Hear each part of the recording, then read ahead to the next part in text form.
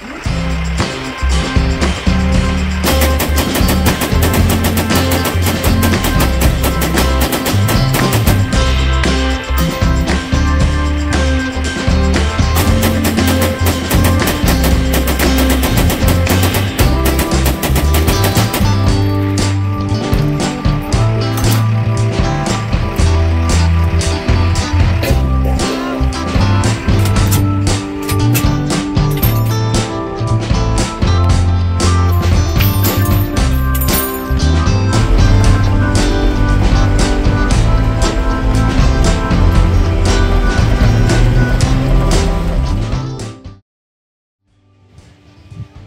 All right, kicking off update video number 15.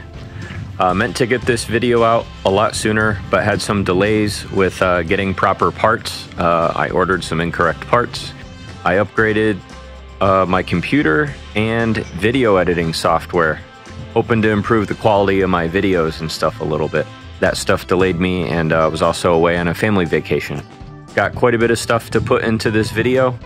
I've uh, been getting to use the truck a lot. Uh, finally got everything all finished up with the turret, but I am not going to cover the M66 turret in this video. I am going to make a whole separate video going over my turret setup and the 1919 A4 and everything. So I'm going to make, you'll see a separate upload for that if you're interested in that. I just broke 15,000 miles today actually driving this to work. I'll start off with a whole bunch of the little stuff and I'll kind of work my way up to the bigger stuff from there.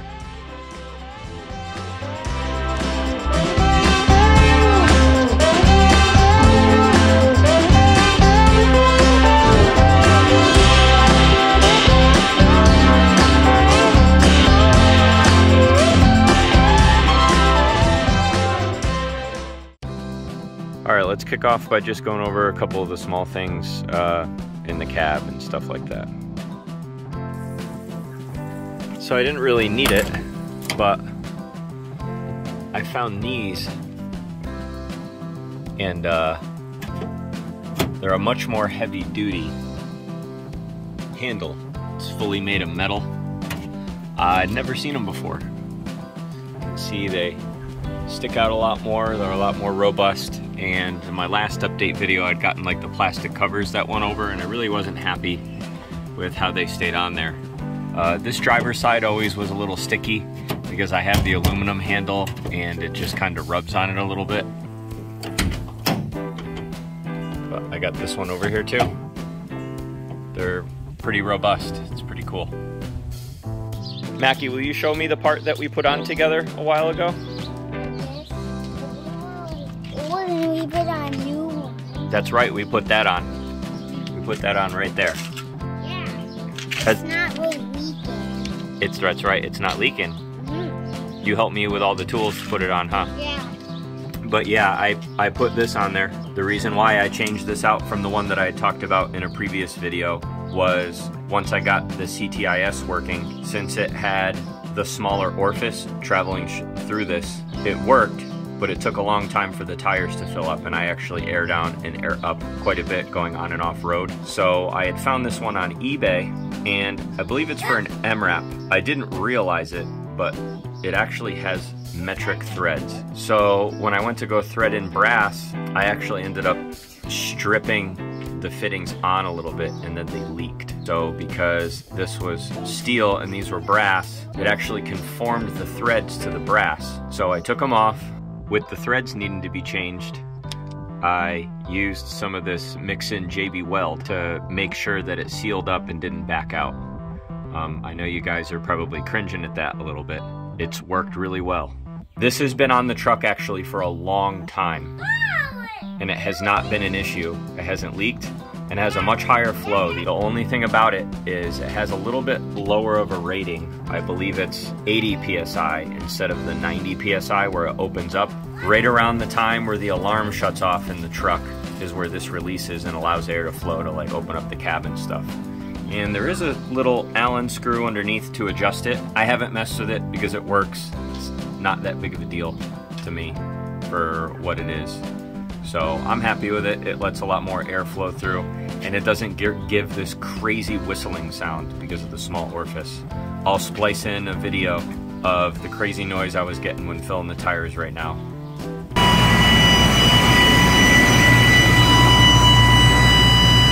This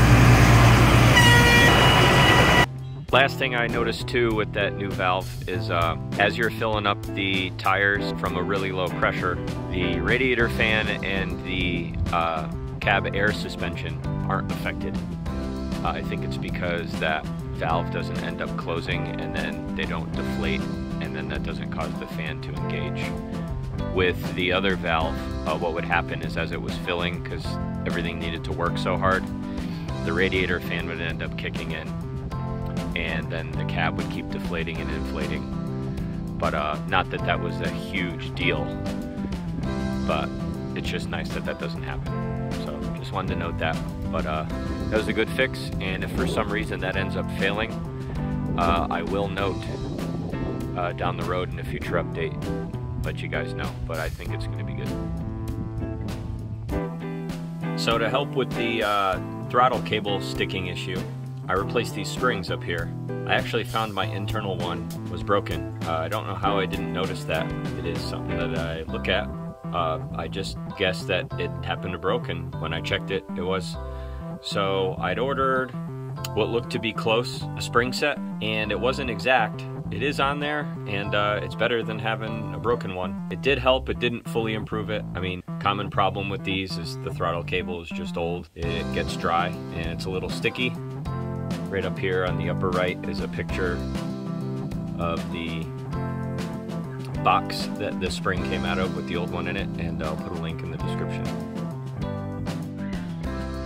Here's another thing that I got. I'm not really to talk about installing it and stuff like that, but it's a VRC 110 mount for my radio. It's to take me a while to figure out some of the wire modification in this to work with my uh, Triumph Industries 152 replica radio, but it does obviously integrate with the radio wire that comes off the truck and then it charges the battery. So at minimum it does that and it holds the radio securely. This has an amplifier on it and then it will integrate with vehicle intercom system or speakers.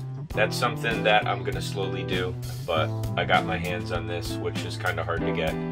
So that's cool. Is that cool, Sydney? Not thrilled. These Dorman body panel push pin retainers work pretty well on the door panels. Next thing on the list is uh, up front there. I'm gonna take the old dilapidated grill off and uh, got the new style to put on. Tools for this job aren't very extensive. Uh, Phillips screwdriver and pliers in my instance for the taking off of the grill. Uh, half inch wrench and ratchet with socket for changing out the uh, number plate. And then I'm using an adjustable and a hammer to kind of fix some of the dents and bends that are in the metal one.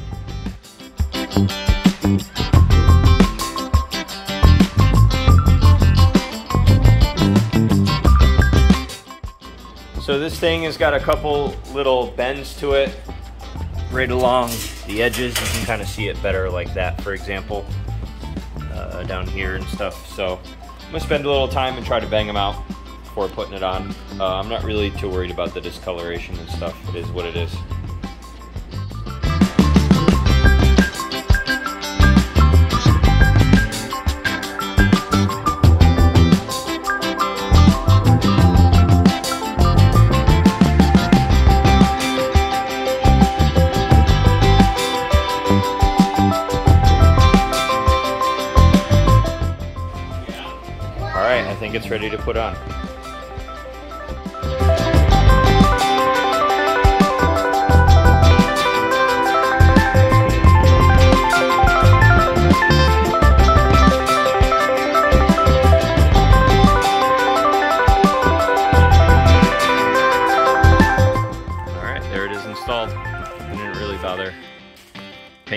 And stuff because I don't care too much about that.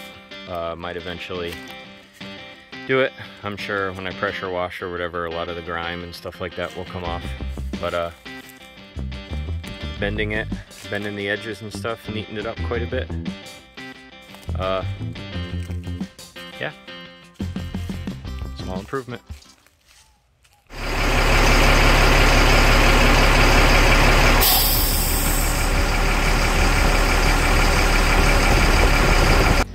So you can see, it actually is a little excessive today. Uh, I started the truck quite a few times though, letting this thing fully cycle, so I probably caught a whole bunch of it, but spitting out a lot of moisture, and what it is, is it's kind of like whitish, so it's oil coming from the compressor.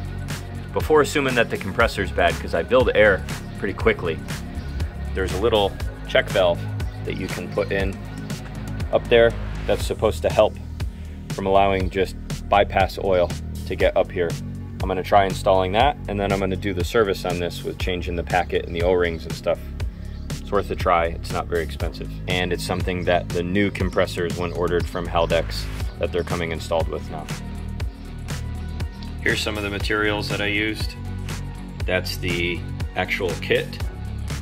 And my kit was missing some gaskets, so I this is what I had left over of it. I had some gasket making material and then I also ended up needing to use a little 1 8 NPT 90 because for some reason on mine the vent ended up hitting the bolt. Uh, I probably could have did away with just taking off the lock washer, but I didn't want to do that. Just decided to use that. Um, I don't have a part number for this because I just had this laying around, but I figured I would show you because there's a bunch of different versions of these. Mine kind of had this rounded backing and it gave it just enough clearance it almost touches the bolt. I did put a dab of blue Loctite on the end of the bolts. Quick splice in, I ended up ordering them, I'm going to install them but I'm not going to show it. The gasket that goes behind the governor, this is your part number for it. And the gaskets that I was missing that goes between the check valve, this is the part number for it. This is what I use for the tools. Um, it's half inch for the bolts, ratchet, and regular wrench. Uh, 7 16ths was to take the little vent off for me. Ended up using the adjustable just to be able to do some of the fittings and things. Flathead to get the uh, hose clamp off. Some of the fittings were stuck on there pretty good. And then also to help make the gasket and things. Take off the old material. And this is actually sitting here for something else. It does come with an instruction sheet that's uh, pretty straightforward. It's got markings and it seems to be that there's only really one way that it can be installed. There's the compressor and it goes behind, you know, in between the compressor and this.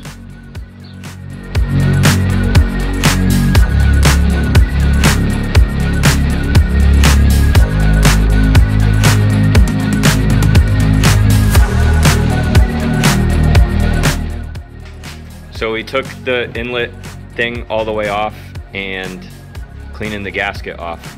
So this kit, like you can see in the picture, was supposed to come with three gaskets, and I guess that's for the different applications it can be installed on.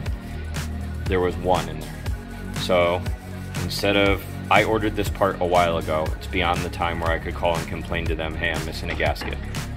So we're just gonna make one out of some gasket material that I have.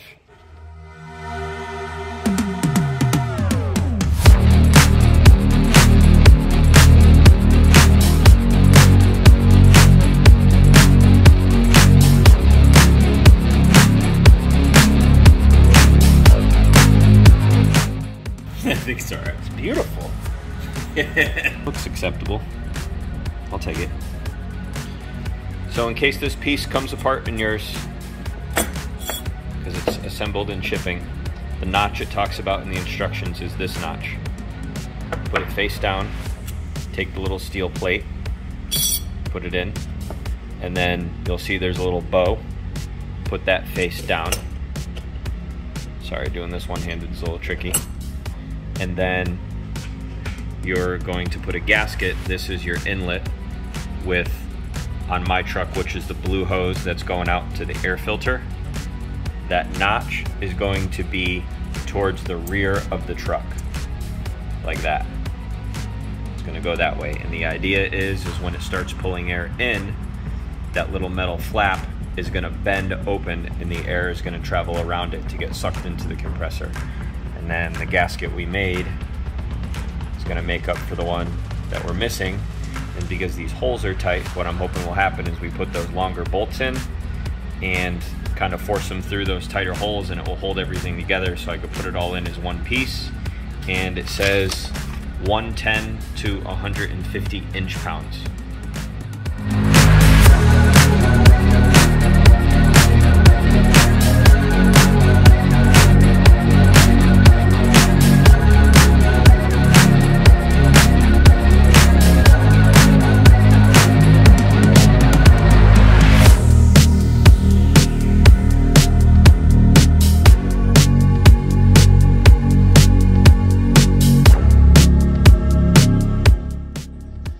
Got this installed, but the issue I'm having now is the little vent that was goes right here, or any sort of adapter I'm trying to come up with. It, this gets in the way of it.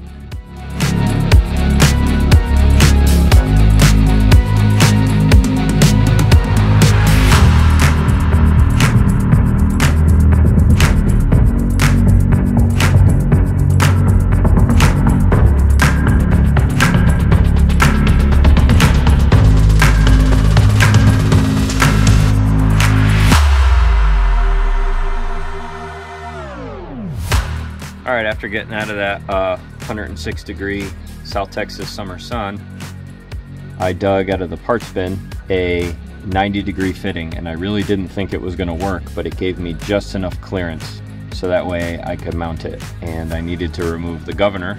I was hoping I did not need to move the governor. A couple of the other guys that make the videos on these trucks, they removed theirs to do it.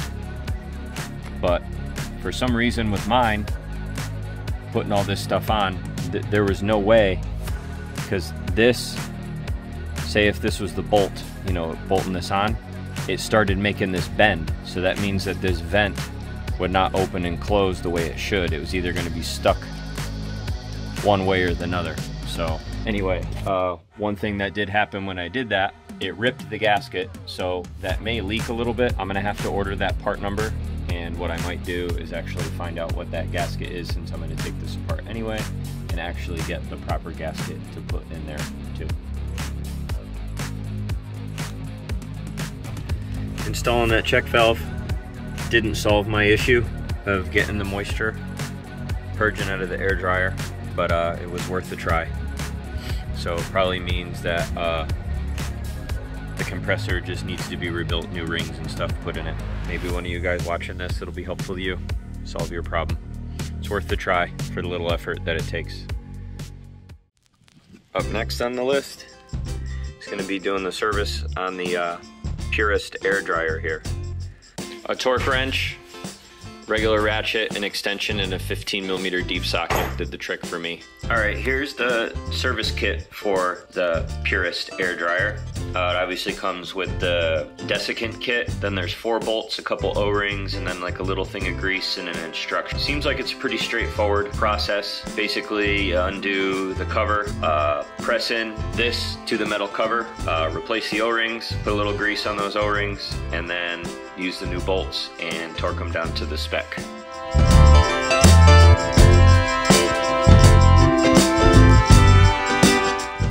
Definitely a bunch of oil buildup in there, so I'm just gonna use a rag and clean it up.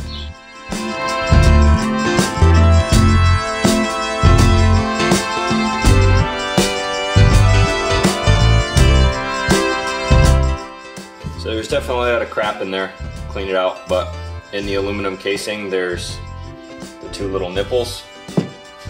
That's what the little cams,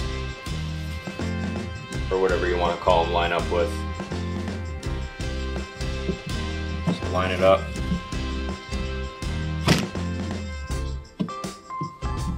And then there's a little rubber spring.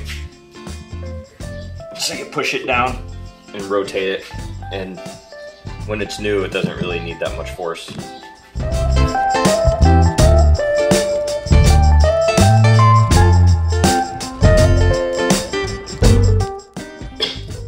There's any specific way that this clamp or orientation that the metal housing needs to go. Obviously just the bolts need to line up.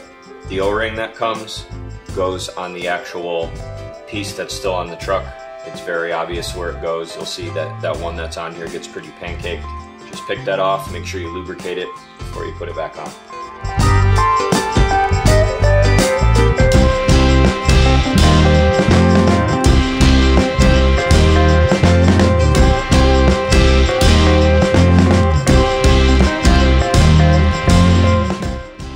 All right, that wraps that up besides testing. Just wanted to note something that happened to me. You could actually see it much better in the camera with the light. See that little line right there? Uh, pretty sure that's a crack. Heard it when I was torquing it down. Uh, I thought maybe I misread the paperwork. I did not. I think my torque wrench is going bad. There's been a couple times where I thought that it really wasn't clicking when it should have been. I think it's time to throw that thing away. But uh, I'm hoping it's not gonna leak. I'm gonna test it here. It didn't leak, so that's good. All wrapped up. That's a wrap for this one. Uh, I do actually have some more to go over. I actually had my first roadside breakdown, but uh, that'll be in the next update video. Uh, nobody got hurt or anything, so it's good. But uh, see you next time. Hopefully you like the new editing.